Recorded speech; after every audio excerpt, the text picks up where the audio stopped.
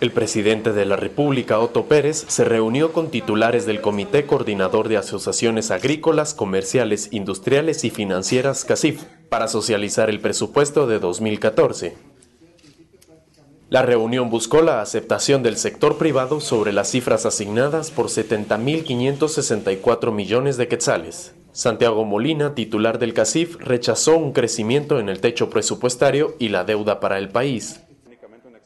El mandatario también se reunió con el Foro Guatemala. Renzo Rosal, representante de la Universidad Rafael Andívar, respaldó la explicación del presupuesto. La bancada del Partido Patriota prevé entregar el documento la próxima semana al Congreso.